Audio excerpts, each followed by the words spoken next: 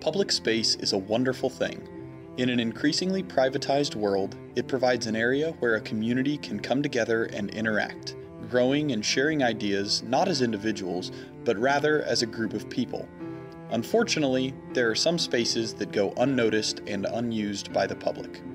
As students in new media and community practice at Kansas State University, our goal was to activate one of these unused places by engaging the people of Manhattan within that space.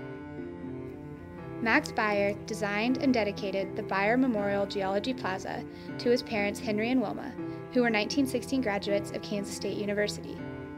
As students, both were heavily involved with extracurricular activities. Wilma served as student body president and competed on the debate team. Henry played varsity football and was the president of the YMCA.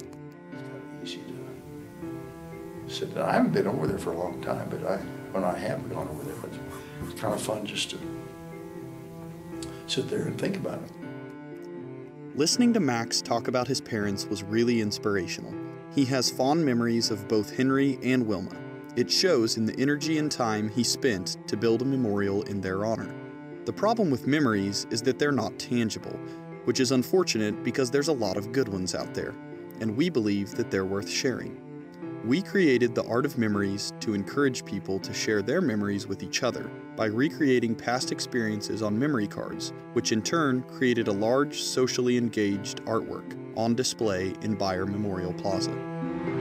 This is probably one of the most fulfilling projects I've ever done in my entire life. Just to see everyone's memories come together and the reactions and positive energy we got from everyone throughout the entire project was astonishing and you know, amazing to actually be a part of. Basically, what this project was for me was um, just the getting the getting everyone else's memories and being able to bring them to a place where memories are supposed to supposed to live.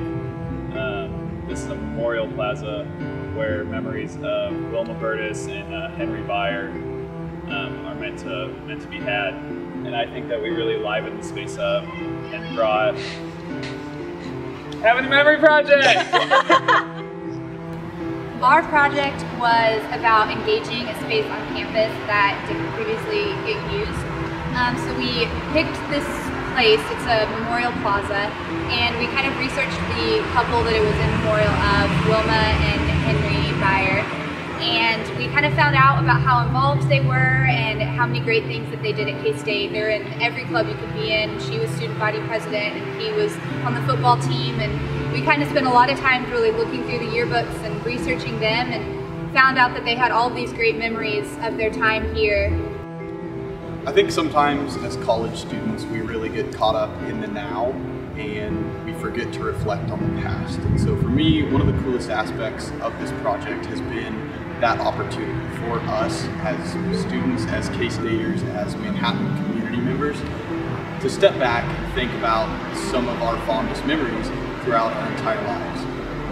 Memories are traditionally very personal to us and they carry a lot of significance for each of us individually, but there are a lot of unifying themes. It's interesting to see how one person's memory about love or a relationship again, is very specific, but it can spark a memory for another